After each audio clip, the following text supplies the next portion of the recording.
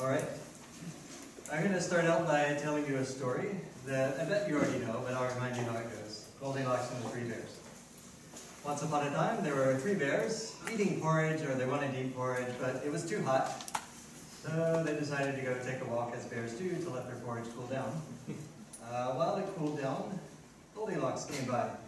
For whatever reason, felt entitled to walk into the house and start tasting the porridge. She tried Papa Bear's porridge, but it was too hot.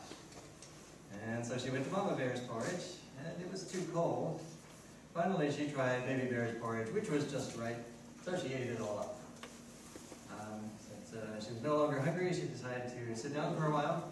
So she found Papa Bear's chair. Next to it was his tablet where he had been working on his blog. So she picked it up and uh, read his blog. But this blog, it made her too angry. Uh, so she tried uh, the next chair, which was Mama Bear's chair, also with a, a tablet with a blog. Uh, this blog, though, made her too bored. Uh, so she gave up on that one, tried the last chair, Baby Bear's chair. Uh, this blog was great, it was on point, it was funny. Uh, in fact, it was so funny that she fell off her chair laughing and broke the chair. Well, too bad. Okay. Uh, uh, fed and entertained, she decided to get to work. So she found the, uh, the office where Papa Bear's computer was already set up a programming environment.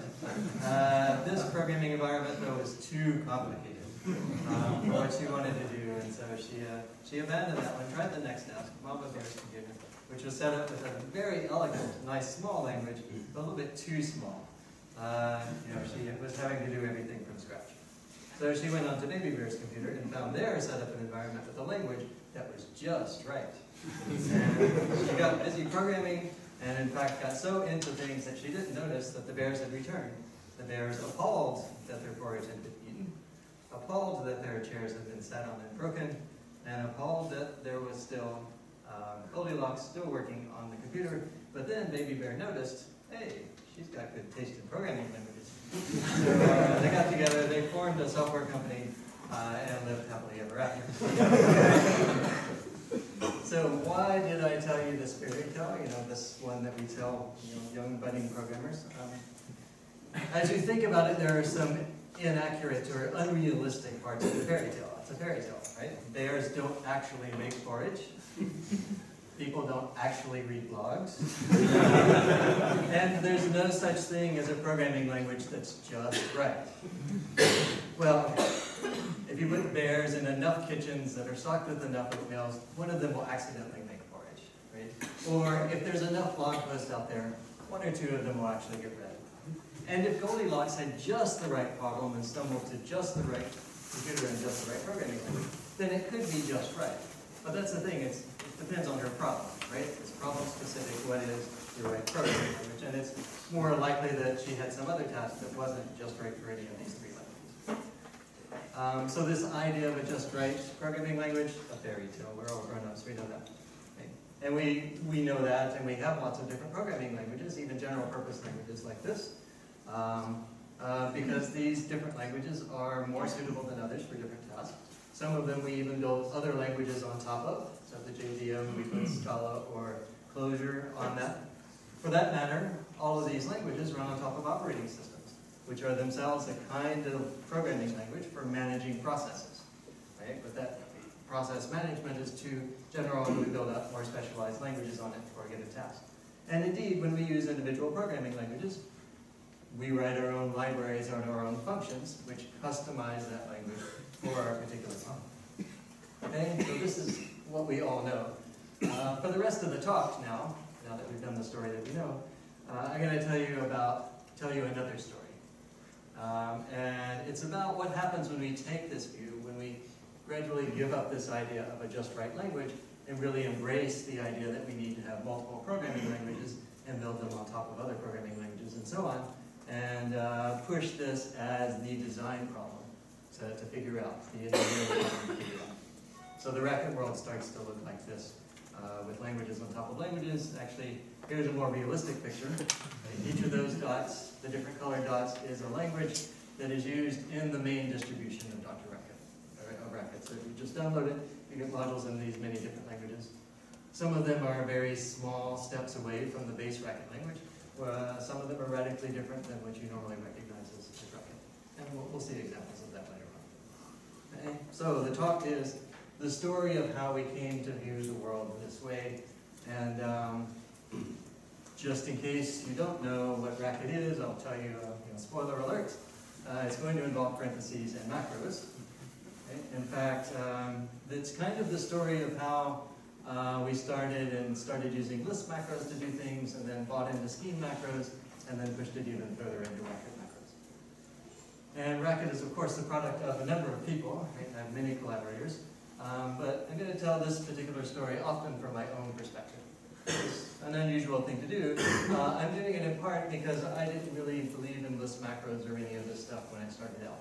So that blue arrow is kind of the evolution of my own thinking here. Uh, I'm also doing it this way so that I can reflect on what about this story of Racket so far seemed incidental, uh, kind of the porridge of the story. It could have been soup or some other hot food, and, and the, the Three Bears story would go just the same way. But other things, um, other things are inevitable. If you set up the Three Bears story, Goldilocks has to show up, right? And there are other things, there are things in the story of Racket that I think when you start looking at multi-language programming, um, these are inevitable problems that are going to show up and, and that you'll have to solve. So I want to emphasize from the beginning here that the incidental thing in this macro, in this story includes macros, right? Macros are not, however much I might think they're inevitable, we can take that on a different uh, uh, topic. Uh, really what I want to talk about today is multi-language programming and what is it about that problem that, uh, that triggered certain investigations in our, uh, in our story. Okay? So, let's start at the beginning of this news story. Uh, the whole Racket project started originally to, to build Dr. Scheme. And the goal of Dr. Scheme was to have a nice environment for teaching where it turns out right from the beginning of this project there were two languages because the main goal was to build an environment and a language suitable for, um, for students, right? And plain scheme is not suitable because uh, it's too easy to get confusing kinds of messages. But also, uh, we had to build this environment, and this being the, the mid-90s or so, it may not be as obvious as it might seem now, but we decided to build just the right language so that we could build this graphical programming environment.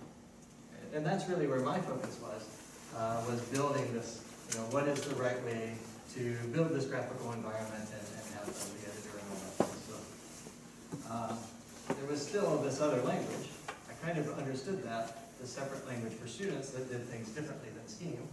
You put parens in the wrong place, it would give you an error message that basically said you put parens in the wrong place. Uh, instead of a runtime error saying something about things not being procedures.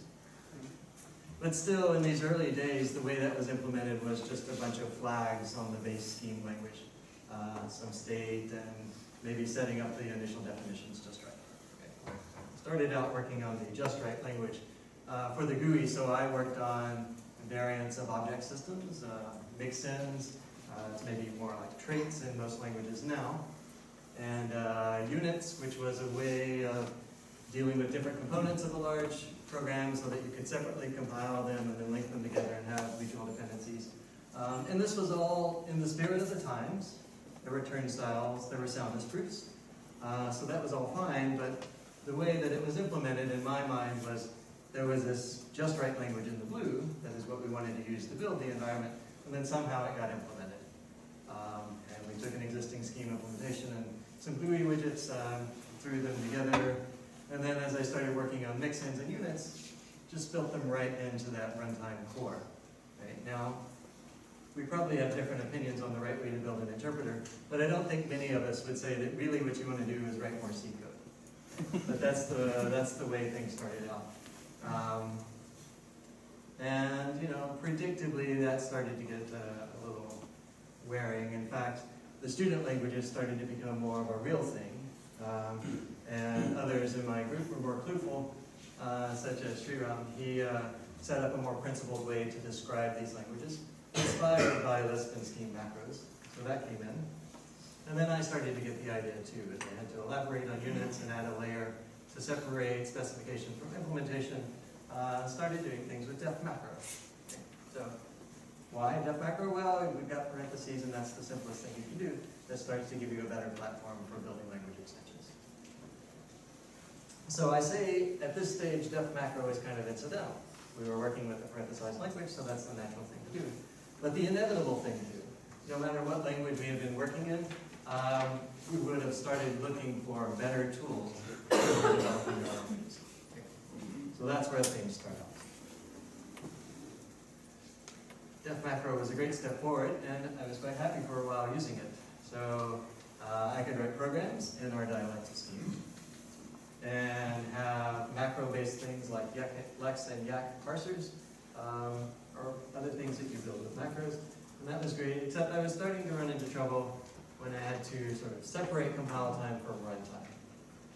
And the reason this gets problematic is you, you just have to add more decorations to say when certain things should happen.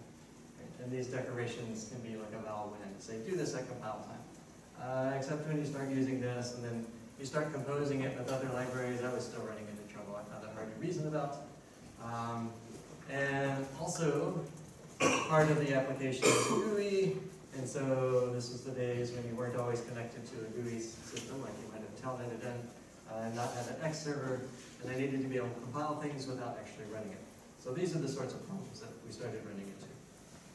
Uh, let's put it in more of a diagram form. Uh, here's a picture where we started with the normal, you know, naive, obvious view of building a program in Scheme as you just load a bunch of files that sort of implicitly assemble a sequence of definitions. So the green arrows are showing the load commands that load in different files, and the problem comes in because these blue arrows that I just added show the actual dependencies between those sets of definitions. And the blue arrows and the green arrows don't light up. And it's easy to get things out of sync, and when that happens, small changes to your program sort of mess up the order of those. Um, so, you know, people deal with this, uh, but we sat back and said, why do we have this problem? What can we do about it? And the idea is that you shouldn't even be able to use a name if it's not going to be defined for you. Right? This is a pretty standard uh, solution to this kind of problem. Right? Use some sort of scope to make sure that I really am allowed to use fold down here because I have uh, imported the right line. Uh, there's an interesting twist on this that happens with macros though, because uh, so here I've got kitchen, which depends on groceries, and groceries is a macro. So of course I need to say that I want to get groceries from that uh, module, but it's not just that the name has to be available for me to use, it has to be available at the right time. That use keyword must mean uh, make sure that module is loaded at compile time so I can expand out the, the macro continue compiling.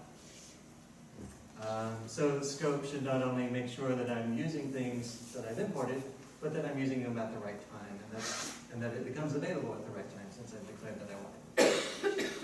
On the other hand, if the grocery module is itself importing from some GUI, uh, GUI library that's initializing the, uh, the GUI system, connecting to an X server and so on, um, in that case, I need use to not mean just just load and run the code at compile time, it needs to defer the runtime part to runtime. Okay, to make sure the GUI library is only initialized when I actually want to run the program.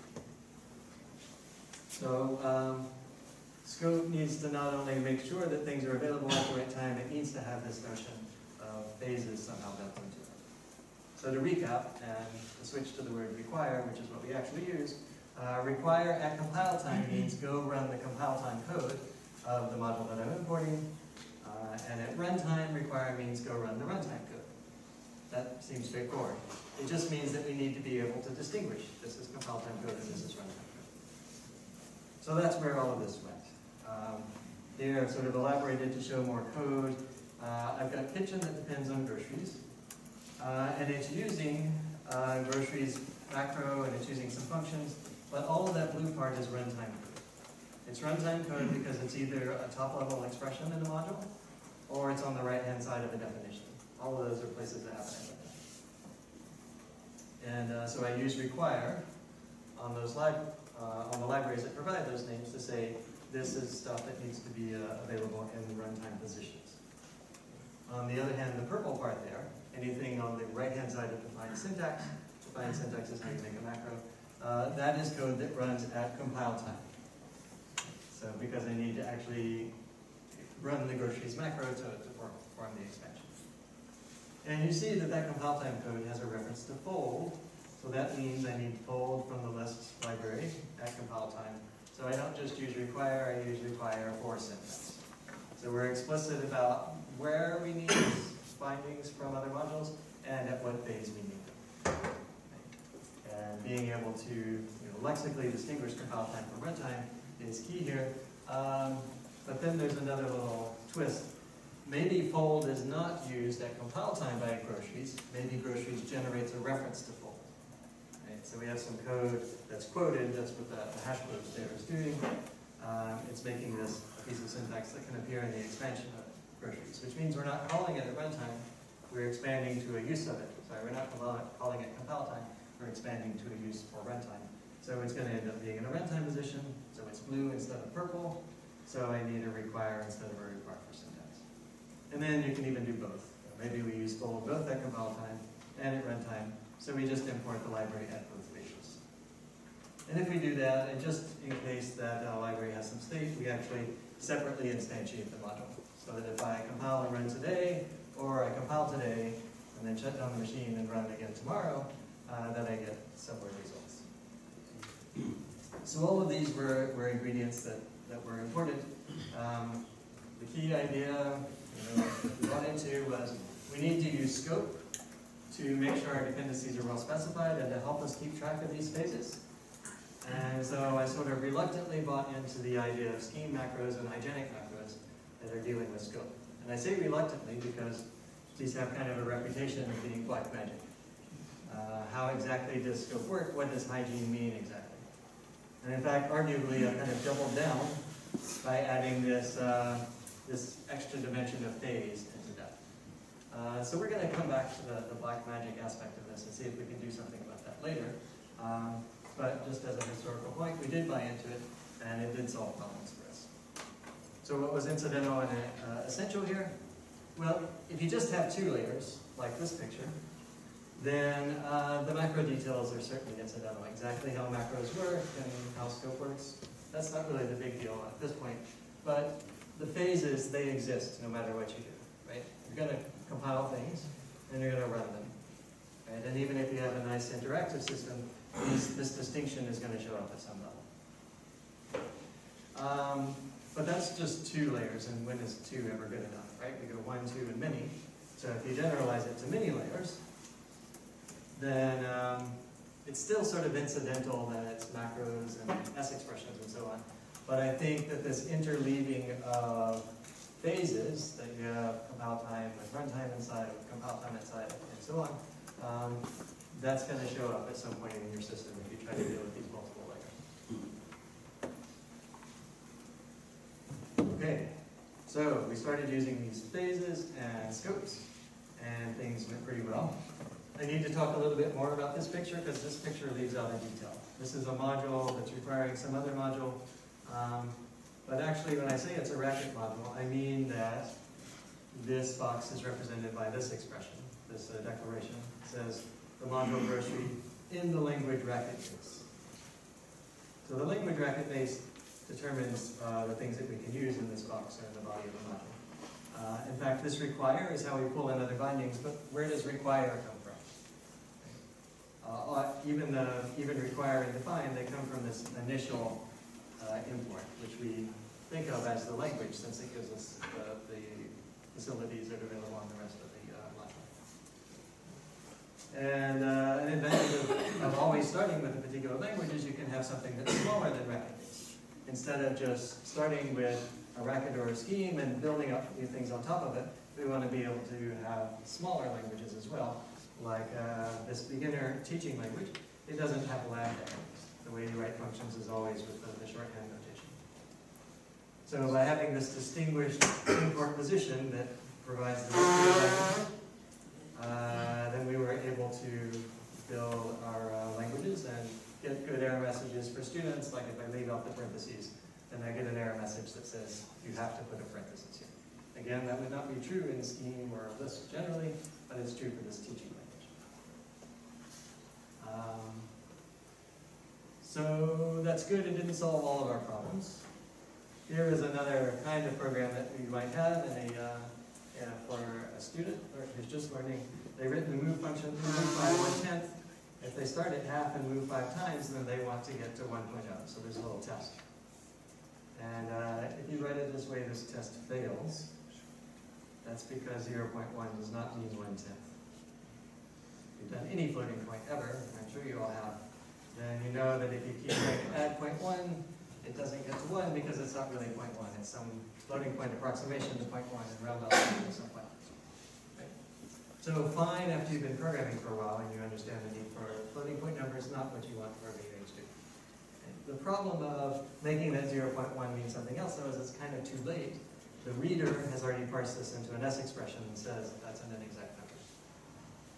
So again, we take some inspiration from things that happened before, like uh, Common Lisp and Lisp, where you could set the reader, parameterize it somehow.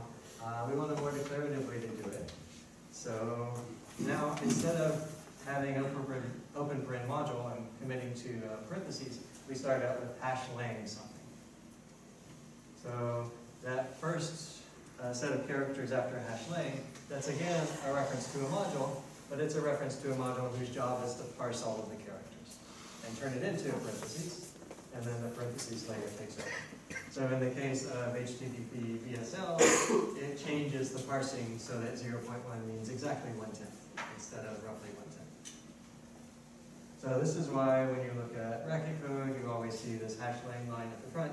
It's determining the base language. Right? It's determining not only the initial imports like define, as it generates the parentheses or it picks up initial import, but also the character level things. So you know, here's hash datalog, which runs, and you see it doesn't look too much like Racket at all. It looks like um, Datalog, as it should. Uh, we don't actually use Datalog very much, but we do use Scribble a lot. So this will look a lot more like TeX than, than Lisp code, um, just with at signs instead of backslashes. Uh, this is a program that we can run. Uh, it's a program that we can render. You can see it said hashlang scribble at the top. So when I, I render it, then I get the documentation out. Um, because it's running a program to generate the structure and then rendering it. Uh, this is getting a little bit of ahead of uh, things, but since I'm here, notice I can click on define, and it goes to the definition of define. Uh, that's nice. It's actually not trivial because if I search the manual for define, then you can see there's a whole bunch of different defines in my installation. Okay, that's different defines that behave a little differently. So how did it get the right define? Well, because uh, in this code I said define means racket base, sort of set up the scope. So just keep that in mind for when we come back to it later. Uh, right now, the point was there are various things we want to write in notations other than parentheses. Hashlang uh, lets us do that. In fact, we did that. In fact, this is the whole grammar of Racket in a sense. Every Racket program starts hashlang, and then some module, and then, well, the rest of what happens is up to that module name. So we boil things down so that this is the only part we can never change in Racket. Everything else, we can define new languages uh, to handle. Uh, and the overall picture of parsing in Racket is that you have some source, and the hash lang line determines how that gets into parentheses. Then we're in the nice Lisp macro world here, where um, we can define the initial imports from the path here, but also require new libraries to compose different pieces of languages and, and sublanguages, and get all of the usual uh, composability that you get out of that uniform representation. Um, meanwhile, you, once you fully expand it, then you get a kind of AST that a compiler wants to deal with uh, after all the modules are expanded away. You can do some uh, some composition here. We don't do that as much really, um, but just to complete the picture, there is for some readers uh, a way to extend it. Okay, so for this little segment, what were uh, the really important ideas? Exactly how a reader works and where you draw the line between here and here. Uh, I don't think that's so big a deal. In fact, uh, you know, my student uh, John Atkin and I looked at different kinds of source syntaxes. Um, but the, the overall architecture here um, feels important. The idea that every piece of code declares its language. So now you can mix multiple languages in a given program because every piece clearly says what language it's in.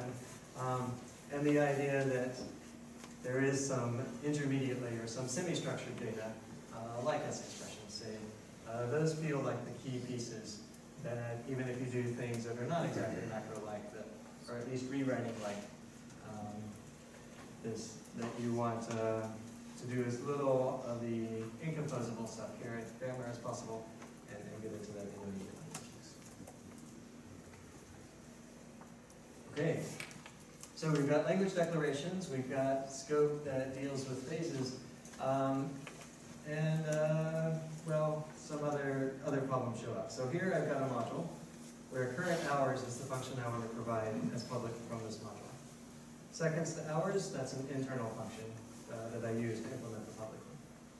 How do I write a test suite for this? I can test the public function easily enough, but I want to test the internal function too. Uh, you know, get, to get the unit test at that regularity. Where do I put these tests? I can put them in a separate file, which is a typical approach, but then I have to make my internal function to public. So that's, uh, that's not comfortable because then other people will use it and then it won't be a private function anymore. I can't just change it as I need to. Um, so we don't want to do that. I could put the test next to the implementation. That feels better most of the time. Uh, but now anyone who uses this module, they depend on the test framework that I decide to use. So that's unfortunate. They, they want to write an application, they don't want to pull on a test framework. Uh, and also, every time that application runs, it's going to run the test. If I have substantial tests here, that's not so good either. So what's really going on once we start thinking about you know, the, the mechanisms that we had before is that this code that's in orange is yet a different time. It's not compile time or runtime, it's testing time. So how can we generalize uh, this notion to deal with these different times? Um, our strategy was to uh, have submodules, and a submodule is lexically nested in another module, so that's why seconds hours is visible here. But it's not tied in instantiation to the instantiation of the hours module. So if you just run the hours module, uh, you won't run the test submodule. You can explicitly require the submodule, so here I've said require not hours, but the submodule test within hours. And so that will run the test. Uh, the main test is only a little bit special in that we have tools like raco test, which take a module and pull out its test submodule to run it. Um, there are also other special names like main, special again only because certain tools recognize them. Like this is how, you know how in Python you have a get the current main module and if so, then do something special in this library. This is a more general way of doing that. Have a something that's used uh, if you use hours in a larger program, though, it won't be the main module, so this, this goes on. So testing was kind of one motivation, but um, you know we want to generalize this, and it turns out a lot of the reason this can work well is the interplay of modules and, and macros. So module plus turns out to be a macro that takes a bunch of pieces of modules and includes them into one submodule. And since macros can generate these modules, these submodules for different times, then we can use it for other times that exist in different languages. For example, in Typed Racket, that part in yellow there is a type declaration. It doesn't live at runtime, because at runtime all the types have gone away. It does live sort of at compile time, but even once this module is compiled, we still need that information for other modules. So it exists especially at type checking time. So if you write another type module that pulls us in, uh, it needs that information. So we want to put that in a, a types submodule for type checking time.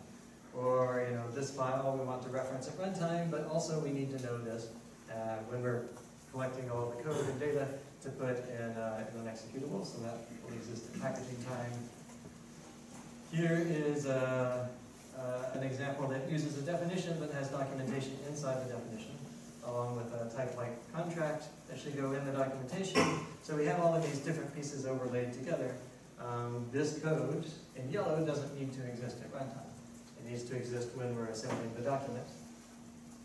But at the same time, there are references in this documentation time code out to the surrounding code, and that is related to those hyperlinks that we saw that went to the right place. So we have different times overlaid here, but still some scope-based association or, or references across those different times. So that's why this all fits together nicely. Uh, we have these different times that exist, within a piece of source code. Um, we have a way of managing those, and in our case, it's with submodules, um, but still having uh, some scope and tracking among the relationships of these different things. So it's kind of incidental, I think, that it's tied to the module system, that we use submodules. It it worked out nicely for the, the way we had things set up.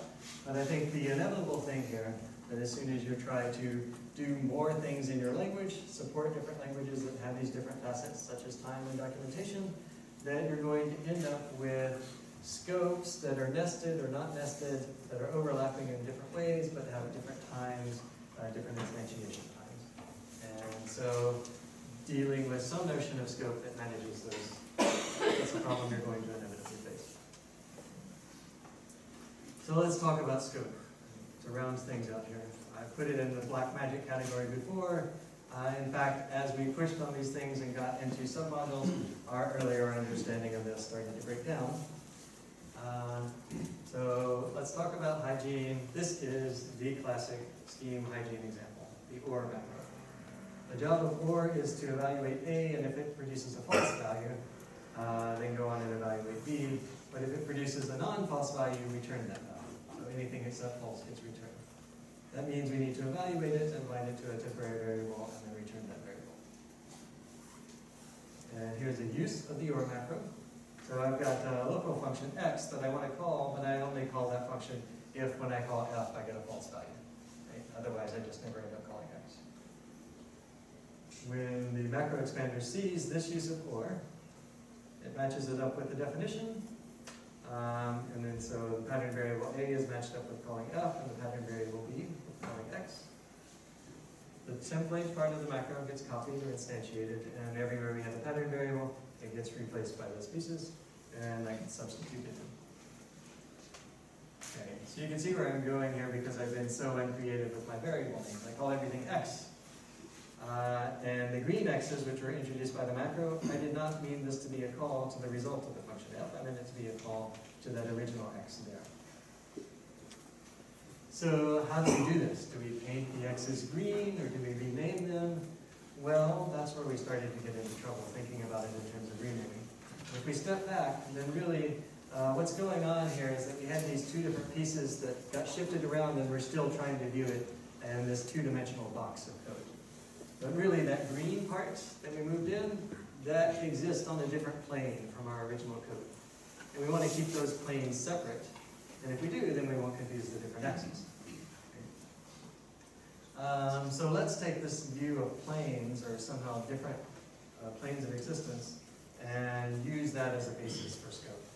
And we can ignore macros and let's just start back and say, how does lexical scope work? Uh, here I've got a simple program that I bet your eyes right away see that this x is bound by that binding because it's a non-recursive binding. this x goes to the other definition and this y goes right there. Okay? So how are we doing that? It's this.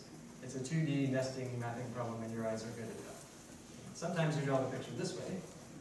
We say that here's a definition of x, and everywhere it can be used is in the red box. Uh, everywhere this x can be used is in the blue box, and so on for y. Now, when you see this, when you see this yellow X right there, you know that it's really on yellow, but also on blue and also on pink, right? You just assume that. Right? There are these different planes that are stacking up. That information is a little bit hidden in this 2D view, so what do we do? Well, let's just write behind each identifier all the planes that are behind it, right? so that we completely summarize this uh, information, and I can get rid of the binding contours. Right? This X has pink, blue, and yellow because that's the different scopes that it was sitting in, the different binding. Um, and looking, I can now just look at the sets of colors and get the same information that I have from the, uh, the 2D nesting. Right? How do I know that this X binds that one in terms of colors? Well, it's because this X has the colors uh, red, blue, and yellow. This other X has the colors red and blue, and red and blue is a subset of red, blue, and yellow. So I'm going to define binding as, if you go from a use to a binding instance, the binding is the one that has a subset of the scopes that you have. You will have noticed at this point that this X up here is also a candidate because it has the color red, which is also a subset of red, blue, and yellow. But what we're going to do naturally is take the biggest subset, right? whichever binding has a subset of our colors But the biggest such subset, that is the one that we refer to. Right? So I've done all of this work now to change, take your 2D intuition and turn it into set of colors comparisons, which is not quite so easy for your eye to pick out. Why did I do all of that? Well, it's because this view is going to work better with macros. So now we have the same left that was renamed to green color identifiers before, but now I'm drawing green behind the marks that were, pulled. And note that if I drew it this way, it would be kind of an ambiguous picture, right? This would look like the green X is also in yellow and in blue and in pink, but that's not what's going on. You know, green is a different plane that's orthogonal to all those other planes? And if we have enough of these, it's too many dimensions for your eyes to take in. Uh, so we have to, to generalize this and, and make it something we can reason about by just summarizing the colors. So now it's clear that this green X is just in green, not in pink, orange, and, and red. Right? So this X is not bound by the introduced X because green is not a subset of pink, blue, and yellow. Um, and then as the macro expander keeps going, we'll see that uh, this X uh, introduces a purple scope and so on, and it works nice. Right, This X is uh, pink, blue, yellow, and purple, and we still end up finding this finding. Okay, so that may also almost seem too easy if you've looked at scheme macros before, but we've implemented this and it all worked out. Um, We have scopes and we have scope sets, and this formerly mysterious notion of syntax object, which somehow encodes the lexical environment, it's just a name with a set of scopes attached to it. So the, uh, you know, the incidental and inevitable parts here, the way we wire this into macros, I still think is incidental to this story. But uh, dealing with binding relationships that evolve as a program is elaborated, that shows up in many contexts. And scope sets are one way of solving that problem. Uh, this is again another instance of the kind of problem that has to be solved if you're these kinds of uh, language composition and, and implementation by, by uh, elaborating program. Okay, so that's a lot of stuff that was built up in macros, but I left out like a whole segment of, uh, of the history, right? While we were building up this uh, me- mechanisms, we were also using in a variety of ways. You've seen Scribble, and that, that sign curly brace notation. It's actually a pretty clever uh, elaboration of S expressions that you could look into. Uh, that's Eli Barzilay's work. Um, Sam he worked on a variant of match, uh, where match is of course implemented with macros, but also you can extend it, extend the match patterns by writing more macros. Um, Robby did lots of work on contracts that I think you know about, uh, that was both enabled by the macro system and starts suppressing the macro system, you know, forcing us to think even harder about how we can support different kinds of languages. And contracts and macros are a part of Typed Racket. Um, Typed Racket is roughly speaking one giant macro. It takes your Typed Racket program, type checks it, and then lets it elaborate further. Um, so all these things, these are big, complicated macros, and a lot of it was enabled by, um, by sort of the scheme pattern-based macros. It was a, almost just right language for building these kinds of tools. Um, so here, does, the details of this pattern-based macro do not matter at all. Just imagine that I want to implement something like let, except there's a contract that double checks that the value that results from this expression um, is the right kind of thing. So uh, if I use with check like this, great. If I accidentally use a number instead of a name here, then I get an error message. But in this DSL, I get an error message about let, and I didn't use let anywhere in my in my uh, macro in my expression. So that's not so good. Or if I leave out colon, it just says doesn't match. Sorry, uh, and the whole thing pink. So these are the kinds of problems we ran into. Uh, what's the solution? A better DSL. Uh, Ryan Culpepper introduced syntax parse, uh, where building on the pattern matching macros uh, scheme gave more gave us more things like being able to write col where colon ID to say this must be an identifier, so that if I don't put an identifier, I get a good error message coming from with checked instead of let. Or if I leave out the colon, you know, this is just a parsing uh, parsing error reporting problem. So it can tell me this thing right here should have been a colon. The bigger picture here is that, um, you know, macros have been part of my story, but to make macros, we needed more tools to write those macros. How do we write those tools? Well, we make new macros like syntax parse that help us build the tools. Um, another example of this, I talked about Typed Racket, um, but I said Typed Racket, sort of type checks your program and then elaborates it. Type has a, a hardwired type system. So uh, the newer project, Turnstile, this is Stephen Chang and his collaborators, uh, are looking at making the type system extensible. So this is another facet of language extensibility and multi-language programming. Um, it leverages the macro system by, works roughly like this. You have an expression plus one, two, then the one expands to itself, but also the declaration, I am a number. The two expands to itself and says, I am a number. And then plus sees those sub-expansions says, okay, these things are both numbers, so I am a number as well. Right? And this bubbles, the type pulls up. So the type role for plus was connected to the elaboration of plus, the expansion of plus. Um, how do you write those things? Well, there's a domain-specific language that looks somewhat like the type rules you would write in a paper, similar to the way you write things in Shen. Um, it's another language that helps us write macro-like things or helps us write new languages that is itself enabled by macros.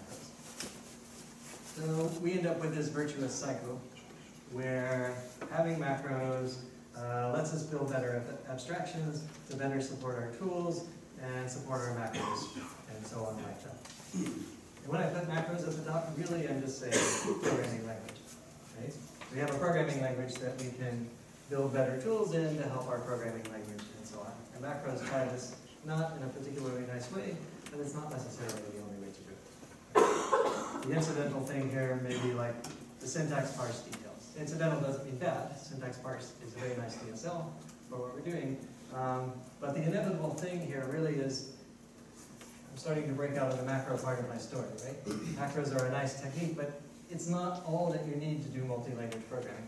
Contracts right here are a key part of making Typed Racket work with untyped programs or other kinds of language boundaries.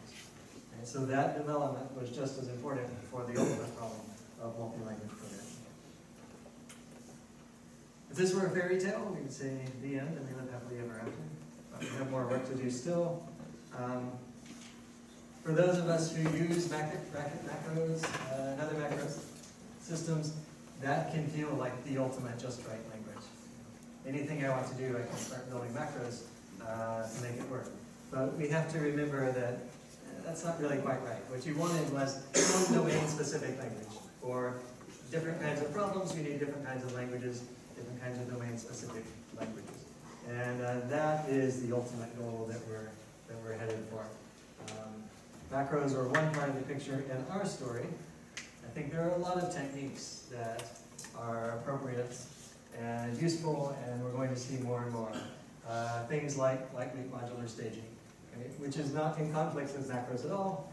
On the contrary, lightweight modular staging used to be built into uh, variant of Scala. Now you can get it implemented with macros, right? But macros alone or LMS alone, um, you know, we want we want all of these things, uh, and we want to think more about meta programming and, and all these different techniques as well as enable different types of programs.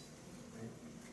So that's why that's why I claim that despite all the parentheses and talk about scope, um, macros, they're just one part of the, the story. I've tried to tell you one thread of our shared story, shared the whole room, not just fractal. And working on meta programming, some various, various ingredients that I think are useful and inevitable uh, to show up. But uh, the most overall inevitable thing here is uh, multi-language programming and building the tools to, to support programming. Thanks.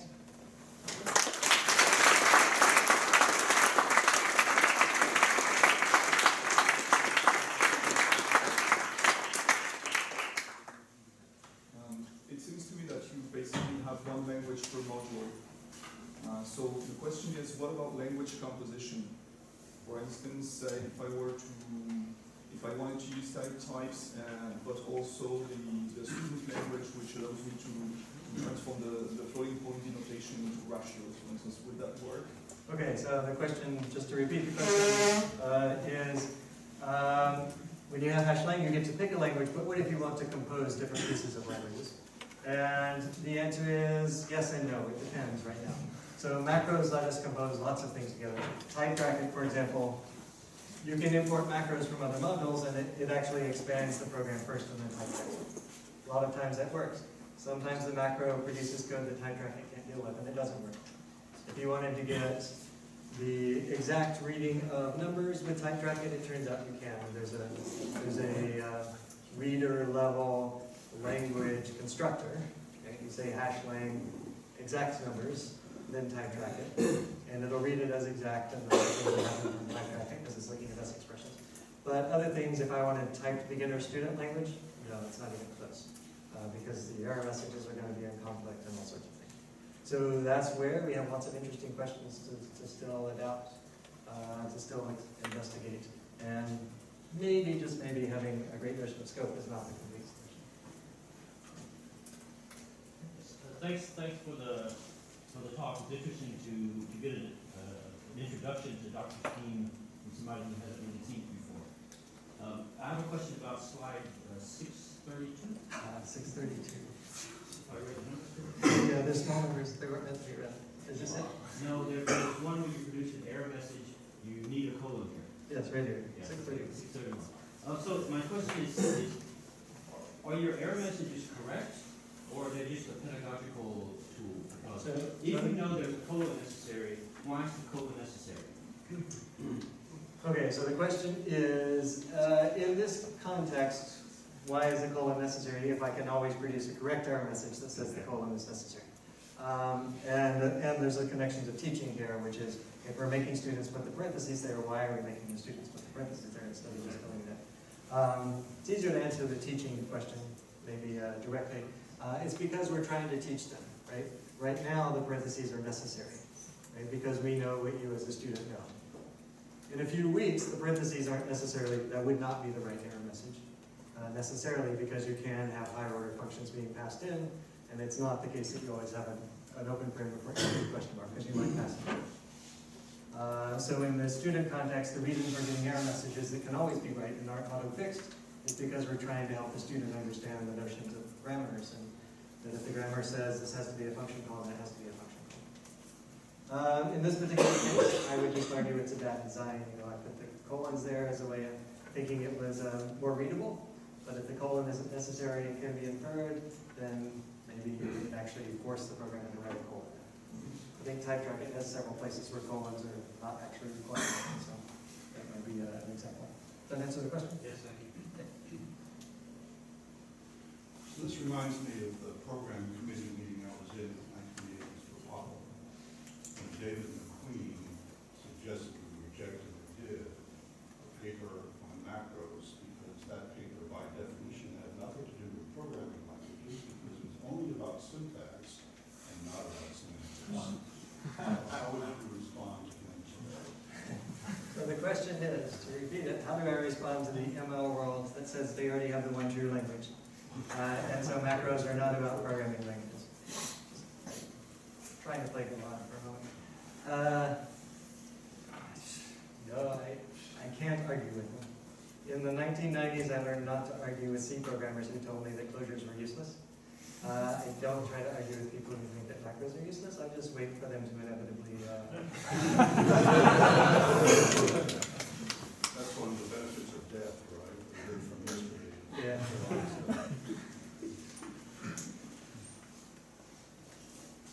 I'm not sure who's saying this first, but. go ahead. Um, so recently I, I moved from using uh, a logic programming language for uh, internal DSLs into uh, a Lisp-like language for internal DSLs. So from uh, defining um, from defining the semantics through deduction to defining them through, transformations.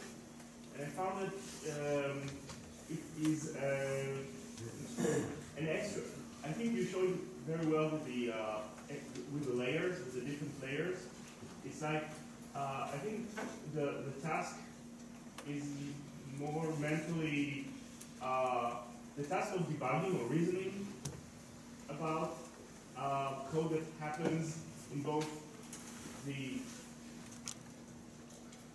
what happens in macro and then what happens in the uh, in the expanded code on those two levels, it, it's like much more mentally challenging. So I think the question you're answering, I'm actually gonna go to a different slide, if I, see if I understand your question. Um, It's more like this slide, where you're keeping the runtime and the compile time phases and they're intermingled, is that what you're asking about? Yes. Yeah, and I think I agree with that, it's challenging at first. I find it, here the analogy I make is to higher order functions. People who first encounter higher order functions, map looks crazy, uh, fold looks even crazier, right? And compose, why would you want to compose and get another function out? Um, There is, and then there's a, a learning curve that happens, and then you get used to them and you can't live without them, right?